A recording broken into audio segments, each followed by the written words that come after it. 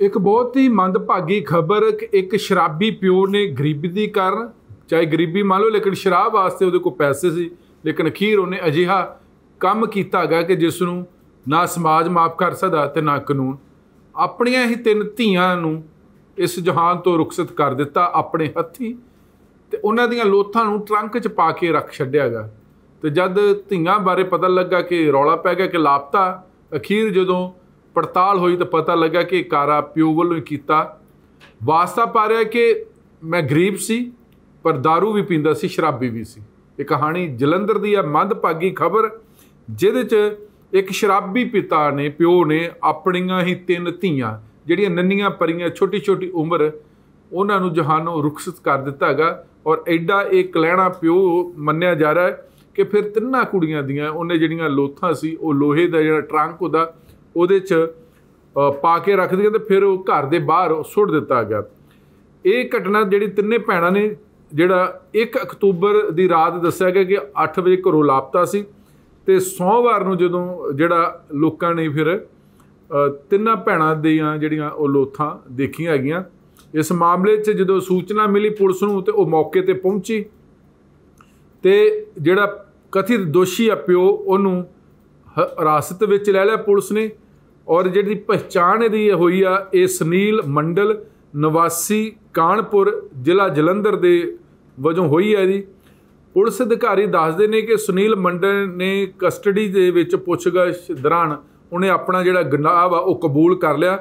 ਉਹਨੇ ਕਿਹਾ ਕਿ ਗਰੀਬੀ ਤੋਂ ਤੰਗ ਆ ਕੇ ਤਿੰਨ ਧੀਆਂ ਅੰਮ੍ਰਿਤਾ ਕੁਮਾਰੀ, ਜਿਹਦੀ ਉਮਰ 9 ਸਾਲ, ਕੰਚਨ ਕੁਮਾਰੀ, ਜਿਹਦੀ ਉਮਰ 7 ਸਾਲ, ਵਾਸੂ, ਜਿਹਦੀ ਉਮਰ 3 ਤਿੰਨਾਂ ਨੂੰ ਆਪਣੇ ਹੱਥੀਂ ਐਡਾ ਕਲਹਿਣਾ ਪਾਪ ਕੀਤਾ ਪਾਪ ਕੀਤਾ ਤੇ ਆਪ ਉਹ ਆਪਣੀ ਹੀ ਕੁੱਖ ਉਹਨੇ ਉਜਾੜ ਲਈ ਹੈਗੀ ਆ। ਇਹ ਵੀ ਦੱਸਿਆ ਜਾ ਰਿਹਾ ਕਿ ਸੁਨੀਲ ਮੰਡਲ ਜਿਹੜਾ ਵਾ, ਜਿਹਨੇ ਬਹੁਤ ਮਾੜੀ ਘਟਨਾ ਕੀਤੀ ਆ, ਪਾਪ ਕੀਤਾ, ਇਹ ਨਸ਼ੇ ਦਾ ਆਦੀ ਹੀ ਤੇ ਅਕਸਰ ਹੀ ਸ਼ਰਾਬ ਦੇ ਨਸ਼ੇ ਵਿੱਚ ਰਹਿੰਦਾ ਸੀ। ਸੁਨੀਲ ਮੰਡਲ ਦੇ ਪੰਜ ਬੱਚੇ ਦੱਸੇ ਜਾ ਰਹੇ ਨੇ।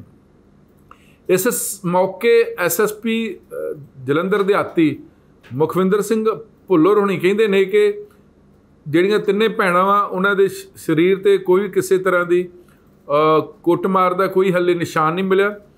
ਪੁਲਿਸ ਮੈਡੀਕਲ ਬੋਰਡ ਬਿਠਾ ਦਿੱਤਾ ਗਿਆ ਤੇ ਤਿੰਨਾਂ ਦਾ ਪੋਸਟਮਾਰਟਮ ਕਰਵਾਏਗੀ ਉਸ ਤੋਂ ਪਤਾ ਲੱਗੂਗਾ ਕਿ ਇਹਨਾਂ ਦੀ ਕਾਰਨ ਕੀ ਬਣਿਆ ਹੈਗਾ ਕਿ ਤਿੰਨੇ ਛੋਟੀਆਂ-ਛੋਟੀਆਂ ਨੰਨੀਆਂ ਪਰੀਆਂ ਦੇ ਨਾਲ ਕੀ ਕੁਝ ਇਹਨੇ ਕੀਤਾ, ਕੀ ਕੁਝ ਖਾਣੇ 'ਚ ਜਾਂ ਕੁਝ ਹੋਰ ਦਿੱਤਾ ਹੋਊਗਾ। ਤਾਂ ਜੋ ਅੱਜ ਤਿੰਨੇ ਧੀਆਂ ਇਸ ਜਹਾਨ ਤੋਂ ਤੁਰ ਗਈਆਂ ਨੇ। ਐਤਵਾਰ ਨੂੰ ਹੀ ਸੁਨੀਲ ਮੰਡਲ ਨੇ ਤਿੰਨ ਜਿਹੜੀਆਂ ਧੀਆਂ ਅਚਾਨਕ ਦੱਸਿਆ ਗਿਆ ਕਿ ਲਾਪਤਾ ਹੋ ਗਿਆ। ਮਕਾਨ ਮਾਲਕ ਨੇ ਰਾਤ 11 ਵਜੇ ਪੁਲਿਸ ਥਾਣੇ ਵਿੱਚ ਸ਼ਿਕਾਇਤ ਦਰਜ ਕਰਵਾਈ। ਰਾਤ ਨੂੰ ਪੁਲਿਸ ਮੌਕੇ ਤੇ ਆਈ ਜੇ ਮਹੱਲੇ ਵਾਲੇ ਜਿਹੜੇ ਲੋਕ ਨੇ, ਉਹਨਾਂ ਨੇ ਵੀ ਕਾਫੀ ਲੱਭਣ ਦਾ ਯਤਨ ਕੀਤਾ, ਲੇਕਿਨ ਧੀਆਂ ਬਾਰੇ ਕੋਈ ਪਤਾ ਨਹੀਂ ਲੱਗਾ।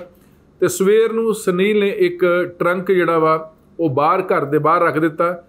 ਜਦੋਂ ਲੋਕਾਂ ਨੇ ਦੇਖਿਆ ਤਾਂ ਉਸ ਟਰੰਕ ਦੇ ਵਿੱਚ ਤੀਹ, ਤਿੰਨੇ ਧੀਆਂ ਦੀ ਜਿਹੜੀਆਂ ਉਹ ਲੋਥਾਂ ਪਈਆਂ ਸੀ। ਇਸ ਤੋਂ ਬਾਅਦ ਜਿਹੜਾ ਉਹ ਪੁਲਿਸ ਨੇ ਉਹਨੂੰ ਗ੍ਰਿਫਤਾਰ ਕਰ ਲਿਆ।